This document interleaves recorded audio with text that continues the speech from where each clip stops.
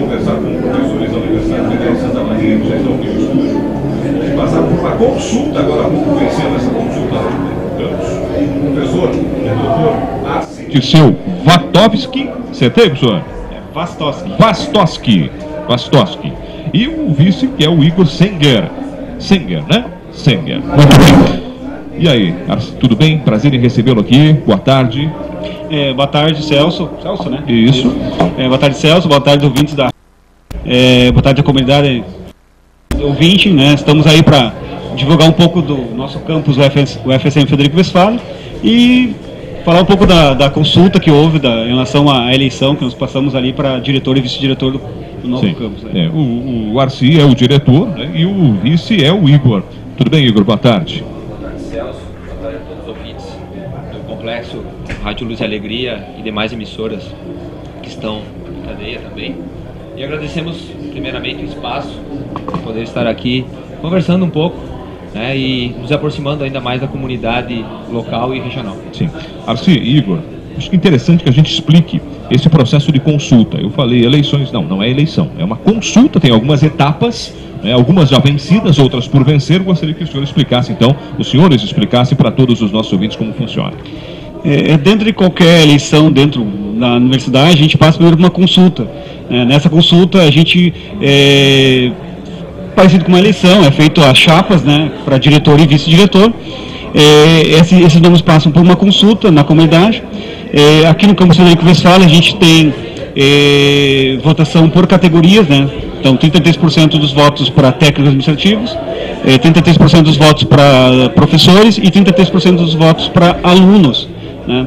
Essas três categorias acabam votando né, na, nas chapas, né? É, e essa consulta, né, ao passar pela, pela, pela, pela consulta, né, a gente tem os nomes que foram referendados. A partir disso, né, que foi dia 10, na 10 passado, a gente passou pela, pela consulta, acabamos sendo escolhidos, eu e o professor Igor, para diretor né, e vice-diretor, e essa consulta passou ontem, né, pelo conselho do nosso campus. Né, ali que ocorre realmente a eleição é, para diretor e vice-diretor. Então pode manter os nomes que foram escolhidos na consulta, ou ainda pode mudar os nomes também. Tá, então nós, nós passamos pela, pela eleição ontem, né, passamos pela eleição do conselho do campus, e o conselho referendou nossos nomes para diretor e vice-diretor. Quem faz parte do conselho, Arci? É, nesse conselho faz parte todos os coordenadores de curso, né, que dos cursos que existem hoje na, no campus da FSM, todos os chefes de departamento, é, o diretor do campus, que, que está hoje em, em, na, na, gestão, né, é, técnicos administrativos também e docentes, e alunos, né, discentes também participam da, do, desse conselho. Muito bem. Uh, Igor, qual é a próxima etapa agora? A próxima etapa agora é que esse, o resultado né, dessa que foi referendado pelo Conselho nessa, na terça-feira ontem, seja encaminhado ao magnífico reitor em Santa Maria e ele uh, faça o processo de nomeação e saindo uh, essa nomeação no Diário Oficial, nós tomaremos posse como novos uh, diretores do campus da UFSM de Frederico Westphalen. Tem prazo para isso, Igor? Não temos um prazo definido. Né? Isso depende justamente desses trâmites, ou seja, aguardamos que o, o diretor atual pro tempore encaminhe esse resultado para o reitor e ele né, uh, faça esse resultado, faça essa homologação quanto antes, para que a gente possa assumir. Sim. Bem, a eleição, digo, a consulta foi muito com um resultado muito apertado, né? Uh, e seguramente os senhores apresentaram aqui um plano, uh, ou muitos planos, para administrar o campus, para expandi-lo, para oferecer alguns produtos e serviços novos para, para os estudantes. Gostaria que vocês falassem sobre isso, sobre esse trabalho, o que vocês pretendem realizar à frente do campus da UFSM aqui de Frederico Westphalen.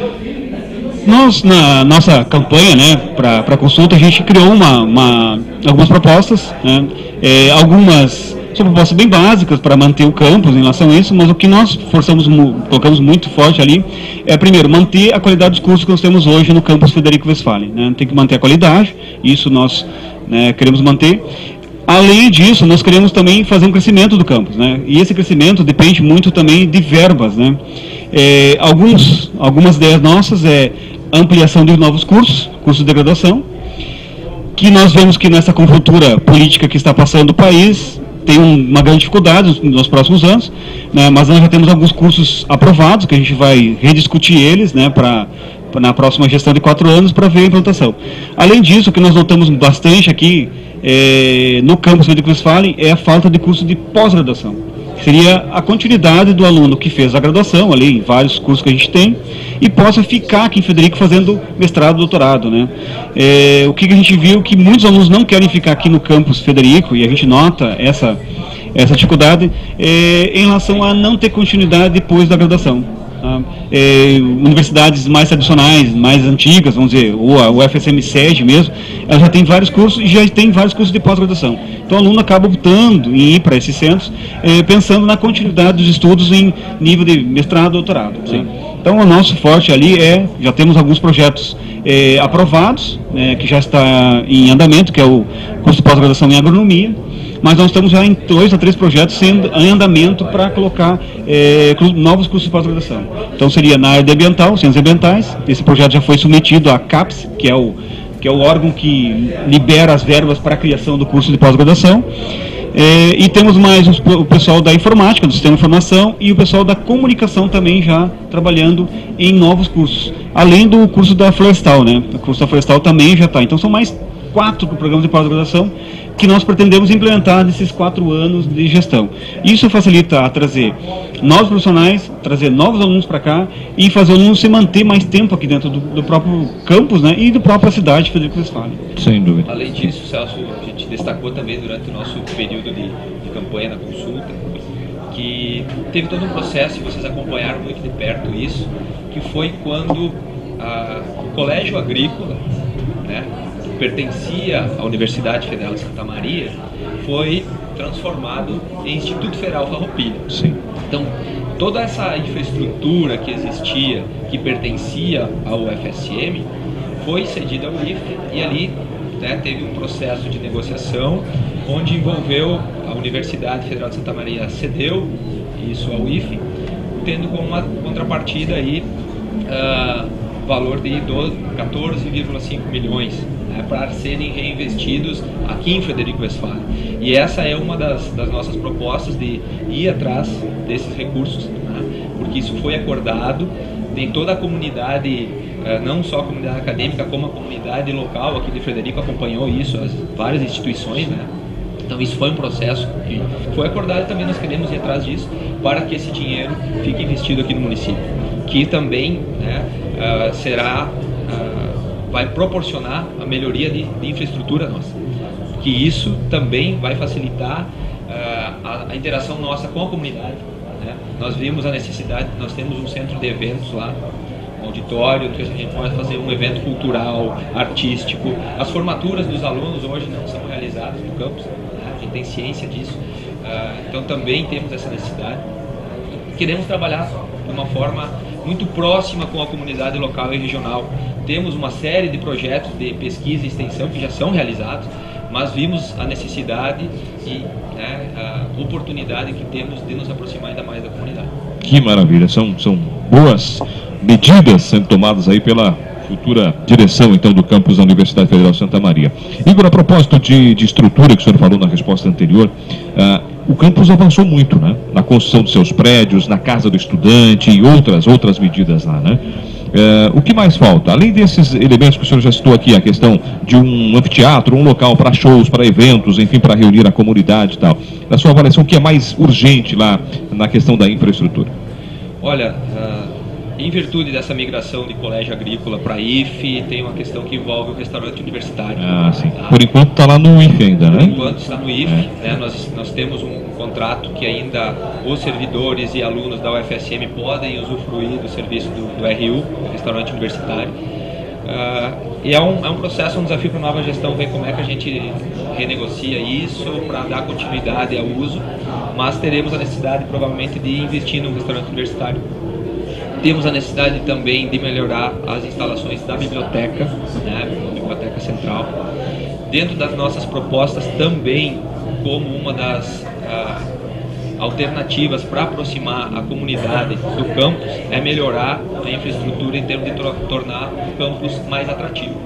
Né? Onde que a gente possa, enquanto família, pegar as pessoas, ir no campus final de semana, tomar um chimarrão, caminhar. Então nós pensamos em melhorar a infraestrutura para um período de lazer e entretenimento e também esporte. Uhum. Né? Uh, que a gente gosta muito quando a comunidade se faz presente no nosso campus, então essa também é uma das, das formas. Nós temos uma necessidade, e aqui já vai assim até um, uma oportunidade de nós uh, levantar a necessidade de uma mobilização que é um problema histórico no campus do sinal da telefonia móvel. Seria a minha próxima pergunta. Mas que bom que o senhor se antecipou, porque de fato é um problema sério, né? É um problema sério porque nós temos lá né, mais de em torno de 1.200 alunos. Sem contar o Instituto Federal, né? Sem contar É. o Instituto, só o FSM, Só o nós FSM. temos em torno de 1.200 alunos, né, ah, em torno de 80 professores e em torno de 50 técnicos administrativos permanentemente atuando lá. Ah, se formos contar alunos de pós-graduação aumenta, se formos contar o, todo o, público que envolve o IFE aumenta. né? O que, que nós queremos dizer com isso? Com toda essa demanda, nós ainda não, ainda não temos um sinal de telefonia móvel de qualidade. Saíram reportagens já nos diversos meios de comunicação aqui, relatando algumas justificativas das operadoras, enfim. Mas eu acho que está faltando um olhar um pouco especial, porque é, um, é uma região ah, que está crescendo bastante. Temos uma série de loteamentos que estão ocorrendo em torno. né? Tem todo um público de Itaquaruçu do Sul também que frequenta aquele espaço. Então, nossa, nossa proposta também como gestão vai ser nos próximos, nos primeiros dias que tivermos à frente, oficialmente, do, do campus, fazer uma mobilização para que as operadoras ah, olhem especialmente para o nosso campus, para, para aquela região e melhorem o sinal. né? A gente fica às vezes até assim meio sem graça quando recebemos um palestrante que vem ah, de Porto Alegre, de outros centros, de São Paulo. Temos às vezes bancas de concurso onde vem pessoas do Brasil inteiro fazer um concurso para trabalharem aqui em Westphalen, residirem aqui. E daí dizem, poxa, meu celular não pega. E aí a gente faz o quê? Então a gente vê essa necessidade, né? Dessa, dessa necessidade. sim. Além disso, né? mais um ponto que nós vamos ter que levantar uma bandeira aqui juntos, de uma forma coletiva, a região, porque a gente pensa, se fortalece o FSM, fortalece IFE, fortalece URI, fortalece o NOPAR, for- fortalece a UERTS e as outras instituições. Então nós temos essa preocupação coletiva. E o que, que nós precisamos também lá? O trevo de acesso, Acesso. ao nosso está problemático. né? Temos lá a fábrica de ração da JBS, ah, que também movimenta aquela região. E até ah, a gente torce para que não aconteça nada tão grave antes da solução desse problema. né? Nós não queremos que, que tenha que haver um, algum acidente lá para as pessoas tomarem alguma atitude. Também vamos levantar essa bandeira que o trevo de acesso ali é problemático, né? E, e- é necessário, é necessário urgente que as autoridades aí nos apoiem, nos ajudem e nós vamos correr atrás disso para melhorar também essa, essa infraestrutura de acesso ao, ao campus. Muito bem. Se mais alguma, ah, algum aspecto interessante, o senhor acha interessante colocar nesse momento em que só se aguarda aí a homologação dessas decisões das urnas aí para começar a trabalhar? É, o que nós estamos, eu e o professor Igor, montando é trabalhando, esperando essa, essa, essa oficialização do digital. né? Quer dizer, o Diário Oficial nos, nos dá realmente a voz de como diretor e vice-diretor para a gente começar a tomar as primeiras atitudes em relação a algumas ações que a gente, que a gente quer tomar. Então, saber como que está a verba da migração do, do CAFU para a IFE, né, quais são, vão, ser as, os prédios, quais vão ser as, as obras que vão ser implementadas, né, com, a, com a- com a verba que vier. A gente tem tudo isso aí. A gente não tem muita paz isso porque a gente não está à frente da gestão, né? Sim, sim. A gente está um pouco afastado. Mas qualquer outra ação que a gente quer, queira tomar, a gente tem que tomar posse realmente para poder saber da situação. Então a gente não tem muito como né, trazer para a comunidade algumas outras ações porque a gente não está na frente da gestão. Acreditamos que em 15, 20 dias a gente está à frente e rapidinho a gente vai conseguir falar com a, com a reitoria atual da UFSM né, e conseguir ver como está a situação de verba, de situação até né, situação política que quem está acompanhando o governo federal está vendo que vai ter um não digo um corte, mas praticamente um achatamento, né, no sentido de verbas para a educação. Isso nos preocupa bastante, né, porque existe obras em andamento, né, a casa estudante não está concluída, a, o prédio das salas de aulas não estão concluídas ainda, a gente quer saber se isso vai realmente ser concluído ou não. Precisamos desse espaço, né, precisamos da casa estudante para colocar mais alunos, precisamos da, da, da sala de aulas para poder expandir os cursos, expandir, né, é, alguma alguma outra atividade que a gente precisa de espaço que a gente não, nesse momento não tem. Então a gente está esperando, né? Esperamos que em 20 dias a gente esteja realmente como os diretores do campus Frederico Westphalen e podemos tomar essas ações à frente aí do, dessa nova empreitada por quatro anos. Aí. Muito bem, serão quatro anos, né?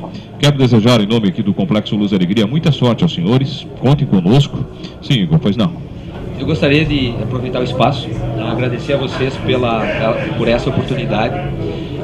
Gostaríamos de agradecer ao voto de confiança das pessoas que durante a consulta acreditaram em nós e depositaram essa, esse voto de confiança né, nas nossas propostas. Fazer um agradecimento especial a toda a comunidade fora da UFSM, né, a comunidade do município e regional, que durante as nossas caminhadas aí por final de semana, na Rua do Comércio, enfim, sempre nos nos abordaram de uma forma receptiva e, e, deram um voto de apoio também. Por mais, né, é, é bom deixar claro né, nessa consulta quem vota é. é. só a comunidade interna da sim, universidade. Sim, né? sim. Então muitas pessoas nos procuraram e, e diziam assim, olha, que bom, né? Que bom que, que os nomes de vocês estão aí uh, e a gente torce por vocês. Então também queremos agradecer cada uma dessas pessoas que estiveram ao nosso lado, agradecer aos nossos familiares também que nos, nos incentivaram e porque foi um processo desgastante, cansativo, mas graças a Deus chegamos ao final uh, com louvor, né? E hoje estamos aqui felizes e com uma bela experiência de aprendizado nesse processo. Então também queremos agradecer aos nossos familiares por ter nos dado essa base, ter nos dado esse apoio nesse momento tão importante das nossas carreiras. Quero destacar também, né, além do agradecimento do uso das palavras do Sr. Igor também, né, para agradecer a comunidade, a comunidade interna e externa, mas também dizer que nós estamos chegando eu estou também chegando há 10 anos aqui do campus UFSM. Esse ano, em outubro, setembro, outubro, a gente vai comemorar 10 anos aqui em Federico Westphalen. Ah, então, eu estou desde 2006, o Igor entrou em 2008, né? Então, setembro, eu estou comemorando também 10 anos de casa. Então, isso, eu sempre comento para o Igor e falo também para a comunidade que a gente a gente não, não entrou para a direção sem ter uma experiência. Né? Eu estou aqui desde o primeiro tijolo e isso me dá um, um pouco de experiência para estar tá na frente de uma direção.